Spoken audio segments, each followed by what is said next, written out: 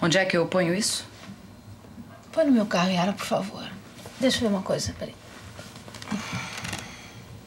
Graças a Deus não estragou. Por que, que você não coloca aqui na parede do consultório? Isso faz parte da minha vida particular e não profissional, né? É. Mas também colocar na sua sala, em lugar de honra, é mesmo pra irritar uma recém-casada, né? O que você quer dizer com isso, Yara? Que é pra causar ciúmes mesmo, não é, Sheila? Você ia gostar se fosse com você? E eu posso saber o que, que a Paula, você ou qualquer pessoa tem a ver com que eu pendure ou deixe de pendurar na minha sala?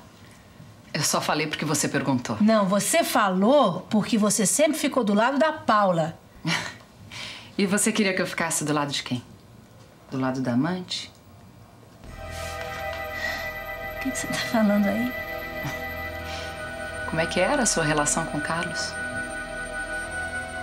Era uma relação de amor. Claro. Tudo bem. Mas é, você era casada com ele? Você era esposa dele? Não. Então você era o quê? Que dia, minha Nossa Senhora. Eu tava. O que aconteceu? Nada. Pode ser, não preciso mais de você. Tudo bem.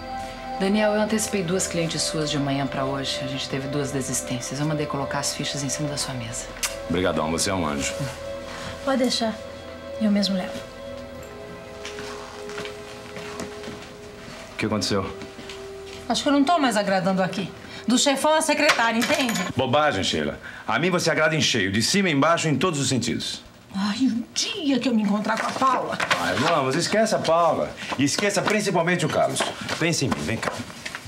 Ô, Daniel, Daniel, para com isso, Daniel. Isso aqui é o nosso local de trabalho. O que você tá pensando? Ah, não. Eu tenho horror a gente me espionando. Ai, um Mas não...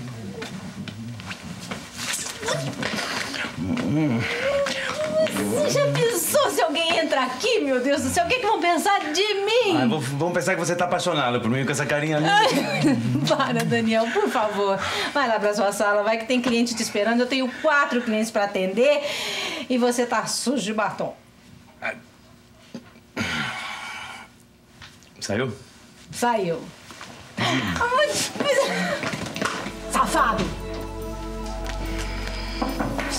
Sheila, posso fazer entrar seu cliente? Pode, claro. na, na, na.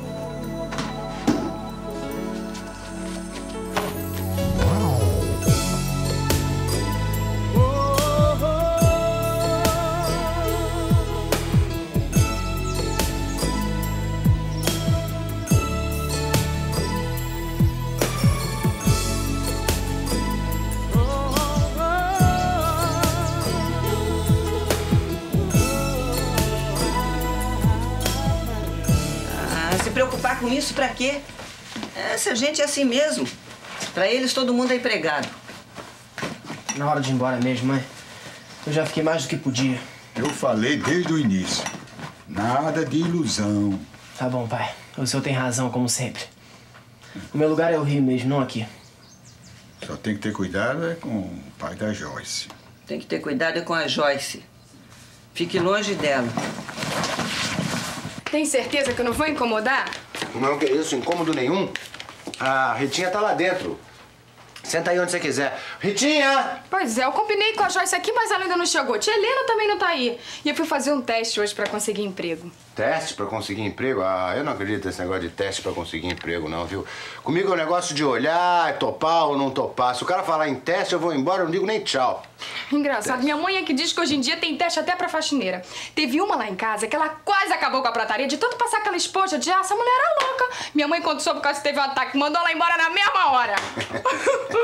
Ih, Ritinha, tudo bem? Aham. Hum. Tô fazendo uma horinha aqui enquanto a Joyce não chega. Como é que vai de namoro? Hum, namoro, é?